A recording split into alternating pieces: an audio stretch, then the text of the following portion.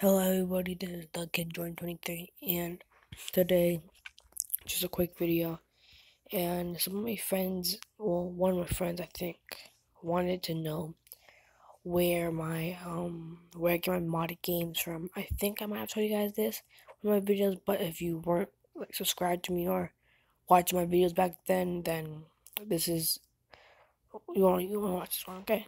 So the app I use is a it's called Tutu app, and this game, this um, this app can have all sorts of mods and actually work. Cause if you haven't seen my videos, I had Crash of Cars modded. Well, I didn't post a video, but SAS 3 was modded. I have a lot of modded games, but now I'm just playing Rules of Survival and just grinding on a lot of games now.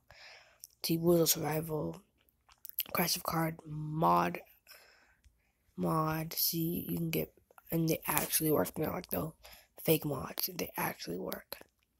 And if you go on them and you want to get a mod, you go here and you can read what their mod has. I don't think this one has it though, but I'm pretty, but I'm, I, I'm pretty sure this one has it right here.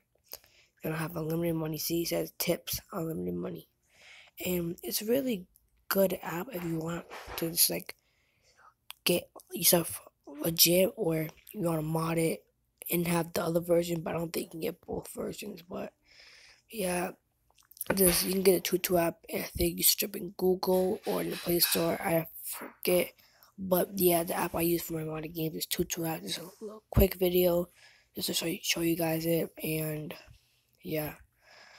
See you guys. Oh yeah, and I'm going to be um posting a video later on today we're going to be doing challenges more often. I'm gonna create a new um se series about um well not a new series, but first series I'm gonna do on my YouTube channel is challenges on rules of survival. So if you guys have the post notifications on, then you guys will see that video pop up later on today.